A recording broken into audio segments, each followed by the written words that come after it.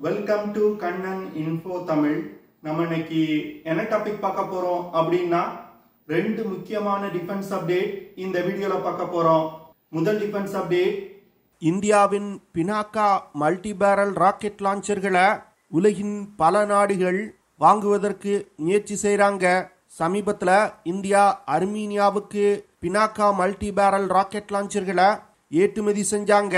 இந்த சூழ்நிலையில டிஆர்டிஓ நிறுவனம் பினாக்கா ஃபோர் அப்படிங்கிற ஒரு நெக்ஸ்ட் ஜெனரேஷன் கைடட் ராக்கெட் சிஸ்டத்தை டெவலப் செய்து வருவதா செய்திகள் வெளிவந்திருக்கு. இந்த பினாக்கா ஃபோர் ராக்கெட் சிஸ்டம் தற்போது உலகில் பயன்படுத்தப்பட்டு வரும் கைடட் ராக்கெட்ல இருந்து முற்றிலும் வேறுபட்டதா இருக்க போகுது.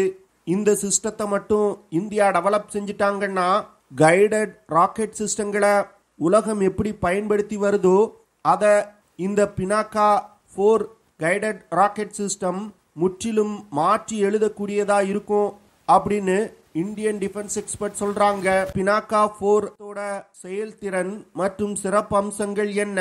அப்படி என்ன ஸ்பெஷாலிட்டி இந்த சிஸ்டத்துல இருக்க போகுது? இந்த பினாக்கா ஃபோர் ராக்கெட் சிஸ்டத்தை சீனா மற்றும் பாகிஸ்தானுக்கு எதிராக இந்தியா எப்படி பயன்படுத்த திட்டமிட்டு இருக்காங்க அப்படிங்கிறது குறித்து பார்க்கலாம். அடுத்து பாகிஸ்தான் சீனாவிடமிருந்து ஜே தேர்ட்டி ஃபைவ் ஏ அப்படிங்கிற ஃபிஃப்த் ஜென்ரேஷன் ஃபைட்டர் ஜெட் விமானத்தை வாங்குவதற்கு முயற்சி செஞ்சு வந்துகிட்டு இருக்காங்க. இந்த சூழ்நிலையில India ரஷ்யாவிடமிருந்து SU fifty seven E fifth generation fighter jet விமானத்தை வாங்கும் வேலைகளை வேகப்படுத்தி இருக்காங்க இந்த விஷயம் பாகிஸ்தானுக்கு பயத்தை ஏற்படுத்தியிருக்கு. இது தொடர்பாக பேட்டியளித்த பாகிஸ்தான் முன்னாள் ஏர் கமாண்டர் இந்தியா. பாகிஸ்தானுக்கு முன்னாடி எஸ்யூ ஃபிஃப்டி செவன் விமானத்தை ரஷ்யாவிடமிருந்து வாங்கினா நாங்கள் சீனாவிடமிருந்து ஜே டுவெண்ட்டி விமானத்தை வாங்குவோம் அப்படின்னு அவர் சொல்லியிருக்காரு. இந்த விஷயம் தற்போது மிகப்பெரிய அதிர்வலைகளை ஏற்படுத்தியிருக்கு. ஏன்னா ஜே டுவெண்ட்டி விமானம் அப்படிங்கிறது சைனாவோட ஒரு ஃப்ளாக்ஷிப் ப்ராஜெக்ட் அந்த விமானத்தை பாகிஸ்தானுக்கு சீனா கொடுப்பதற்கு வாய்ப்பு இருக்கா? ஏன் Pakistan India SU fifty seven விமானத்தை வாங்குவது தொடர்பா பேச்சுவார்த்தை நடத்தியவுடன் இப்படி பயப்படுறாங்க? அப்படிங்கிறது குறித்து நம்ம டீட்டெயிலா இந்த வீடியோல பார்க்கலாம். சமீபத்தில் நடந்த இந்தியா பாகிஸ்தான் மோதலின் போது பாகிஸ்தான் இந்தியா மீது ஃபத்தே டூ அப்படிங்கிற கைடட் ராக்கெட்டுகளை ஏவி தாக்குதல் நடத்தினாங்க. இந்த ஃபத்தே டூ கைடட் ராக்கெட்ஸ் ரொம்ப அதிநவீனமான ராக்கெட்ஸ் கிட்டத்தட்ட நானூறு கிலோமீட்டர் தூரத்தில் உள்ள இலக்குகளை தாக்கக்கூடியது. அது மட்டும் இல்லாமல் இந்த ஃபத்தே டூ ராக்கெட்ஸ் இலக்கை மிக துல்லியமாக தாக்கக்கூடியது. இந்த ராக்கெட்ஸோட சர்க்குலர் எரர் ப்ராபபிலிட்டி வெறும் பத்து மீட்டர் தான். அதாவது டார்கெட்ல இருந்து பத்து மீட்டர் சுற்றளவுக்குள் இந்த ஃபத்தே டூ கைடட் ராக்கெட்ஸ்னால தாக்குதல் நடத்த முடியும். அது மட்டும் இல்லாம இந்த ஃபத்தே டூ கைடட் ராக்கெட்ஸ் மிகவும் குறைவான உயரத்துல பறந்து சென்று இலக்கை தாக்கக்கூடிய கைடட் ராக்கெட்ஸ் அது மட்டும் இல்லாம ஃபத்தே டூ ராக்கெட்ஸ் தன்னோட டெர்மினல் ஃபேஸ்ல ஹைப்பர்சானிக் வேகத்துல பறந்து சென்று இலக்கை தாக்கும். அதனால பாகிஸ்தான் என்ன நினைச்சாங்கன்னா தங்களோட ஃபத்தே டூ கைடட் ராக்கெட்ஸை இந்தியாவுடைய S four hundred air defence சிஸ்டத்தினால தடுக்க முடியாது அப்படின்னு நினைச்சாங்க. பாகிஸ்தான் இந்த ஃபத்தே டூ கைடட் ராக்கெட்ஸை இந்திய தலைநகர் டெல்லியை நோக்கி லான்ச் செஞ்சிருந்தாங்க. இந்த சூழ்நிலையில ஃபத்தே டூ கைடட் ராக்கெட்ஸை இந்தியாவுடைய எம்ஆர்சாம் ஏர் டிஃபென்ஸ் சிஸ்டங்கள் ஹரியானா மாநிலம் சிர்சா பகுதியில் வச்சு இன்டர்செப்ட் செஞ்சு தாக்கி அழிச்சிருக்கு. இந்த விஷயம் பாகிஸ்தானுக்கு ஒரு மிகப்பெரிய பின்னடைவா பார்க்கப்பட்டது. ஏன்னா இந்த ஃபத்தே டூ கைடட் ராக்கெட்ஸை நம்பி பெருமளவில் தங்கள் படையில் இணைச்சி வச்சிருக்காங்க. இதற்கு காரணம் இது போன்ற கைடட் ராக்கெட்ஸ் ஃபிக்ஸடா ஒரே பாத்தில் தான் டிராவல் செய்யும். அதாவது ஒரு அரைவட்ட பாதையில் டிராவல் செஞ்சு இலக்கை தாக்கும். இப்படி டிராவல் செய்யும் பொழுது ஏர் டிஃபென்ஸ் சிஸ்டங்கள்னால மிக எளிதாக இது போன்ற கைடட் ராக்கெட்ஸை இன்டர்செப்ட் செய்ய முடியும். இந்த சூழ்நிலையில தான் இந்தியாவின் டிஆர்டிஓ நிறுவனம் கைடட் ராக்கெட் சிஸ்டங்கள்ல ஒரு மிகப்பெரிய புரட்சியை ஏற்படுத்தும் விதத்துல பினாக்கா ஃபோர் அப்படிங்கிற ஒரு ராக்கெட்டை டெவலப் செய்து வந்துகிட்டு இருக்காங்க. இந்தியாவின் Pinaka four next generation guided rocket சிஸ்டத்தினால முந்நூறு கிலோமீட்டர் தூரத்தில் உள்ள இலக்குகளை தாக்க முடியும். இன்னும் ஓரிரு வருடங்கள்ல இந்த கைடட் ராக்கெட் சிஸ்டம் இந்திய படையில் இணைக்கப்பட உள்ளது. பினாக்கா அப்படிங்கிற பேருக்கு சிவனோட வில் அப்படின்னு அர்த்தம். இந்த பினாக்கா மல்டி பேரல் ராக்கெட் லாஞ்சர்களை இந்தியா கார்கில் யுத்தத்தின் போதே பயன்படுத்தி வந்துகிட்டு இருக்காங்க. தற்போது இந்தியாவிடம் பினாக்கா ஒன் அப்படிங்கிற ஒரு கைடட் ராக்கெட் இருக்கு. இந்த கைடட் ராக்கெட்னால நாற்பது கிலோமீட்டர் தூரத்தில் உள்ள இலக்குகளை தாக்க முடியும். அடுத்து கைடட் பினாக்கா அப்படிங்கிற இன்னொரு ராக்கெட் இருக்கு. இந்த ராக்கெட்னால 75 முதல் தொண்ணூறு கிலோமீட்டர் தூரத்தில் உள்ள இலக்குகளை தாக்க முடியும்.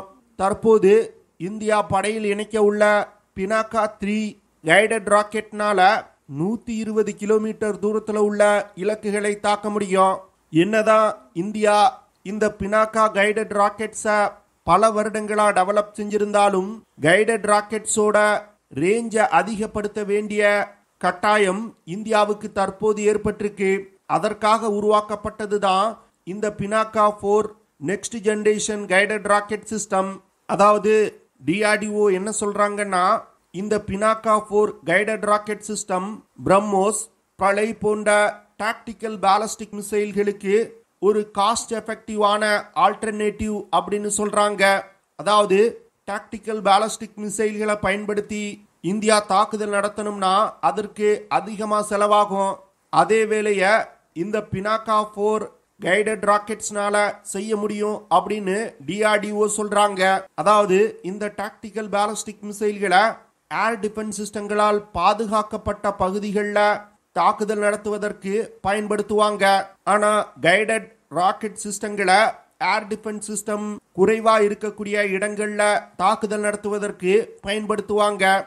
ஆனா டிஆர்டிஓ என்ன சொல்றாங்கன்னா பிரளய் போர் கைடட் ராக்கெட்ஸே டாக்டிக்கல் பேலஸ்டிக் மிசைல்கள் போன்று செயல்படும் அப்படின்னு சொல்றாங்க. அதாவது ஒரு டாக்டிக்கல் பேலஸ்டிக் மிசைல் டார்கெட்டை நோக்கி அரைவட்ட பாதையில பயணிக்காது.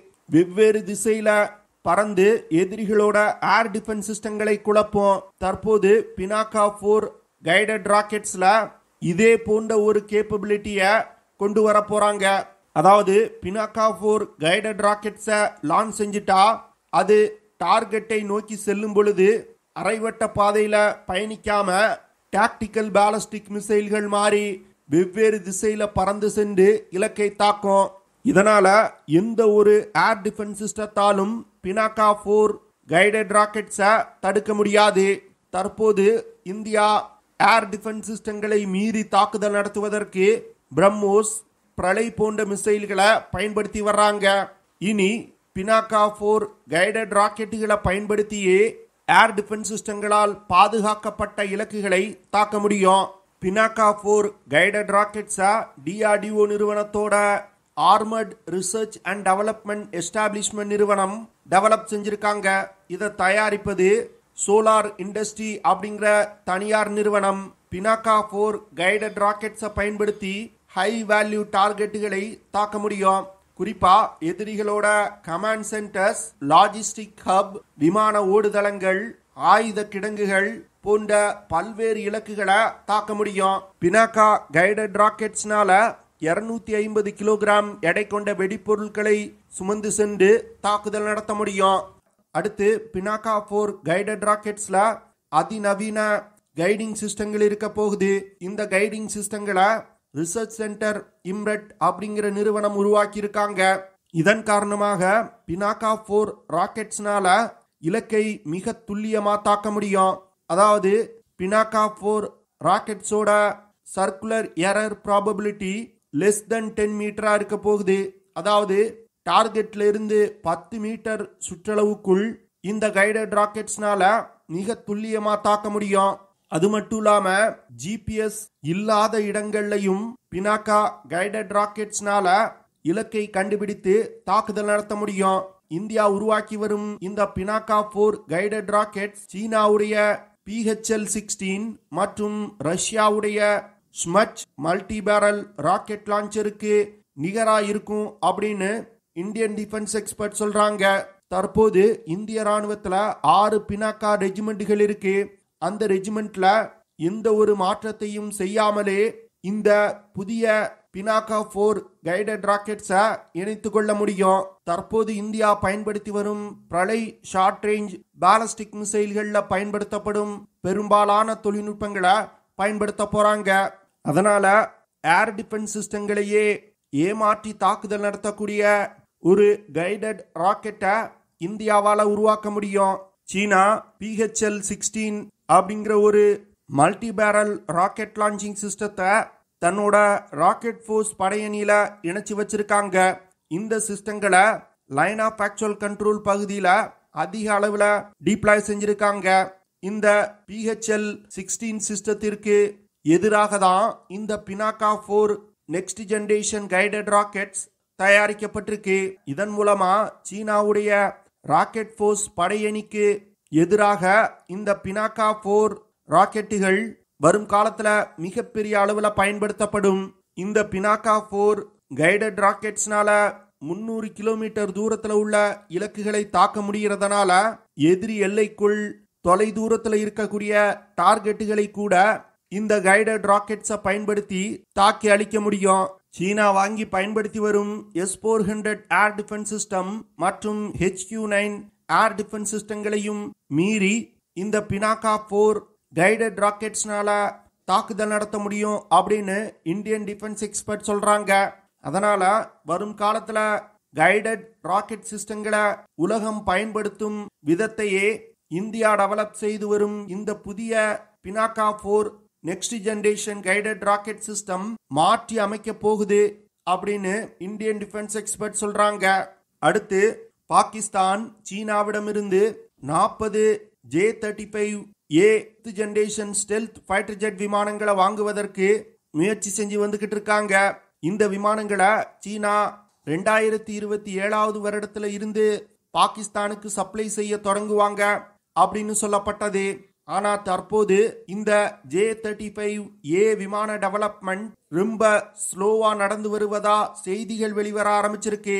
அது மட்டும் இல்லாம ஜே தேர்ட்டி ஃபைவ் விமானம் சீன கடற்படைக்காக உருவாக்கப்பட்ட விமானம். ஆனா பாகிஸ்தான் இந்த விமானத்தை தன்னோட விமானப்படையில் பயன்படுத்துவதற்கு திட்டமிட்டிருக்காங்க. அதற்கு ஜே தேர்ட்டி ஃபைவ் விமானத்துல சில முக்கியமான மாற்றங்கள் செய்யப்பட வேண்டியது இருக்கு. இதனால ஜே தேர்ட்டி ஃபைவ் விமானத்தை சீனா சப்ளை செய்வதில் காலதாமதம் ஏற்படும் அப்படின்னு சொல்லப்பட்டது. இந்த சூழ்நிலையில India ரஷ்யாவிடமிருந்து SU fifty seven E fifth generation fighter jet விமானத்தை வாங்குவதற்கு பேச்சுவார்த்தை நடத்தி வருவதா செய்திகள் வெளிவந்திருக்கு. இந்த விஷயம்தான் பாகிஸ்தானுக்கு மிகப்பெரிய பயத்தை ஏற்படுத்தியிருக்கு. இது தொடர்பா பாகிஸ்தானை சேர்ந்த முன்னாள் ஏர் கமாண்டர் காலித் ஒரு பேட்டி கொடுத்திருந்தாரு. அந்த பேட்டியில் அவர் என்ன சொல்றாருன்னா நாங்க சீனாவிடமிருந்து ஜே தேர்ட்டி ஃபைவ் ஏ விமானத்தை வாங்குவதற்கு முயற்சி செய்வோம். அந்த விமானத்தை இந்தியா எஸ்யூ பிப்டி செவன் விமானத்தை வாங்குவதற்கு முன்னாடி சீனாவால சப்ளை செய்ய முடியலன்னா நாங்க சீனாவிடம் J twenty mighty dragon fifth generation fighter jet விமானத்தை கேட்போம் அப்படின்னு அவர் சொல்லியிருக்காரு. இந்த விஷயம்தான் தற்போது மிகப்பெரிய பேசு பொருளா மாறி இருக்கு அதாவது சீனா எப்பொழுதுமே தங்கள் படையில் பயன்படுத்தக்கூடிய விமானங்களை ஹை குவாலிட்டி கொண்டதா தயாரிப்பாங்க. ஆனா மற்ற நாடுகளுக்கு ஏற்றுமதி செய்யக்கூடிய விமானங்களை சற்று டவுன்கிரேடு செய்து தான் தயாரித்து கொடுப்பாங்க. அந்த வகையில ஜே தேர்ட்டி ஃபைவ் விமானம் ஒரு எக்ஸ்போர்ட் வேரியன்ட் விமானம். அந்த விமானத்திற்கு பதில் சீனாவுடைய பிளாக்ஷிப் ப்ராஜெக்டான ஜே டுவெண்ட்டி விமானத்தை பாகிஸ்தானுக்கு சீனா சப்ளை செய்வாங்களா அப்படின்னு கேள்விகள் எழ ஆரம்பிச்சிருக்கு. பாகிஸ்தான் சீனாவிடமிருந்து வாங்க உள்ள ஜே தேர்ட்டி ஃபைவ் விமானத்தை கொண்டு தங்கள் படையில் பயன்பாட்டில் உள்ள எஃப் சிக்ஸ்டீன் மிராஜ் ஃபைவ் போன்ற பழைய விமானங்களை ரீப்ளேஸ் செய்வதற்கு திட்டமிட்டிருக்காங்க. ஆனால் India fifth generation fighter jet விமானத்தை படையில் இணைக்கும் விஷயத்தில் தற்போது அதிக கவனம் செலுத்த ஆரம்பிச்சிருக்காங்க. இந்தியா முதல்ல ஆம்கா விமானத்தை டெவலப் செய்து படையில் இணைக்கலாம் அப்படின்னு நினைச்சாங்க. ஆனால் அதற்கு ரெண்டாயிரத்தி முப்பத்தி ரெண்டாவது வருடம் வரைக்கும் ஆகலாம். இந்த சூழ்நிலையில இந்தியா அமெரிக்காவுடைய எஃப் தேர்ட்டி ஃபைவ் இல்லைன்னா ரஷ்யாவுடைய SU fifty seven fifth generation fighter jet விமானத்தை வாங்கலாம் அப்படின்னு யோசனை செஞ்சு வந்துகிட்டு இருந்தாங்க. ஆனா அமெரிக்காவுடைய எஃப் தேர்ட்டி ஃபைவ் விமானத்தை வாங்கினா இந்தியா தற்போது பயன்படுத்தி வரும் ரஷ்யாவின் S four hundred air defence சிஸ்டத்தை இயக்க முடியாத நிலை ஏற்படும். ஏன்னா அமெரிக்கா தங்களோட ஃபைட்டர் ஜெட் விமானத்தோடு இணைத்து S four hundred air defence சிஸ்டத்தை பயன்படுத்த விட மாட்டாங்க. அதனால இந்தியா ரஷ்யாவின் எஸ்யூ ஃபிஃப்டி செவன் விமானத்தை வாங்குவதற்கு தான் அதிக வாய்ப்பு இருக்கு. இந்த எஸ்யூ ஃபிஃப்டி செவன் விமானத்தினால ஏழாயிரத்தி ஐநூறு கிலோகிராம் எடை கொண்ட ஆயுதங்களை சுமந்து சென்று தாக்குதல் நடத்த முடியும். எஸ்யூ பிப்டி செவன் விமானத்தினால ரெண்டாயிரம் கிலோமீட்டர்ஸ் பெர் ஹார் வேகத்துல பறந்து சென்று இலக்கை தாக்க முடியும். அது மட்டும் இல்லாம அதிநவீன எலக்ட்ரானிக் வார்ஃபேர் கேப்பபிலிட்டி இந்த எஸ்யூ பிப்டி செவன் விமானத்துல இருக்குது. ஃபிஃப்த் ஜென்ரேஷன் ஃபைட்டர் ஜெட் விமானங்கள்ல இருக்கக்கூடிய ஸ்டெல்த் கேப்பபிலிட்டியும் இந்த விமானத்துல இருப்பதா ரஷ்யா சொல்றாங்க. இந்த எஸ்யூ பிப்டி செவன் விமானத்தை இந்தியா வாங்கும் விஷயம்தான் பாகிஸ்தானுக்கு மிகப்பெரிய பயத்தை ஏற்படுத்தியிருக்கு. இதனை தொடர்ந்து தான் ஜே தேர்ட்டி ஃபைவ் விமான டெவலப்மெண்ட் ஸ்லோவா இருந்தா நாங்க சீனாவிடமிருந்து ஜே டுவெண்ட்டி விமானத்தை கேட்போம் அப்படின்னு பாகிஸ்தான் சொல்றாங்க. ஆனா சீனா பாகிஸ்தானுக்கு ஜே டுவெண்ட்டி விமானத்தை கொடுப்பதற்கு வாய்ப்பே கிடையாது. ஏன்னா ஏற்கனவே ஹெச்கியூ நைன் போன்ற ஏர் டிஃபென்ஸ் சிஸ்டங்களை பாகிஸ்தானுக்கு கொடுத்து அவங்க அதை சரியா பயன்படுத்தல அப்படின்னு சைனீஸ் சோசியல் மீடியால சீனர்கள் பாகிஸ்தானை திட்டி வந்துகிட்டு இருக்காங்க. இந்த சூழ்நிலையில சீனாவுடைய பிளாக்ஷிப் ப்ராஜெக்டான ஜே டுவெண்ட்டி விமானத்தை பாகிஸ்தானுக்கு கொடுக்கவே மாட்டாங்க. ஏன்னா சீனா எப்பொழுதுமே தன்னிடம் உள்ள விமானங்கள் அதிநவீனமான விமானமா இருக்கணும் அப்படின்னு நினைப்பாங்க. அவங்க பாகிஸ்தான் போன்ற நாடுகளுக்கு குறைவான டெக்னிக்கல் எஜ் கொண்ட விமானங்களையே ஏற்றுமதி செய்வாங்க. அதனால பாகிஸ்தான் நினைப்பது போன்று சீனா ஜே டுவெண்ட்டி விமானங்களை கொடுப்பதற்கு வாய்ப்பே கிடையாது. ஓகே ஃப்ரெண்ட்ஸ் நம்ம வீடியோவோட நிறைவு பகுதிக்கு வந்துட்டோம். இதெல்லாம் தான் நான் உங்ககிட்ட ஷேர் பண்ணணும் அப்படின்னு நினைச்ச விஷயங்கள். ஐ ஹோப் நான் ஷேர் பண்ண விஷயங்கள் உங்களுக்கு பிடிச்சிருக்கும்னு நினைக்கிறேன். அப்படி பிடிச்சிருந்துச்சுன்னா ஷேர் பண்ணுங்க லைக் பண்ணுங்க கமெண்ட் பண்ணுங்க.